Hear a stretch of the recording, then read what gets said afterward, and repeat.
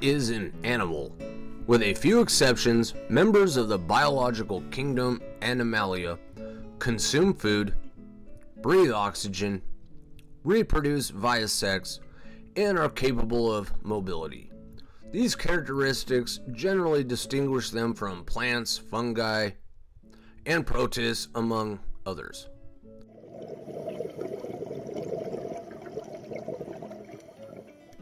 Those that study the animal kingdom are called zoologists, and they have described over 1.5 million species, with the majority being insects such as the mosquito and the cockroach.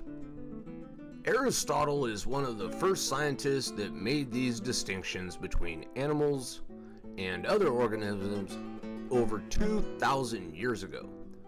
Animals range in size from 0.0003 inches, as in the Myxozoa something, a microscopic parasite, to the over 100 feet blue whale, which ironically feeds on small animals.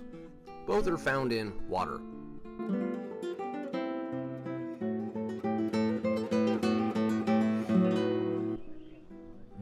Word animal comes from Latin meaning having breath. Animals are multicellular and unlike plants and algae, they do not produce their own nutrients and therefore must consume food, which is usually plants and herbivores, meat in carnivores, and both in omnivores.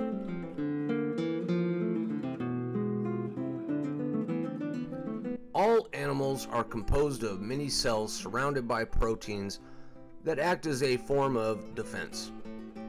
While most animals reproduce sexually, a few species can reproduce asexually.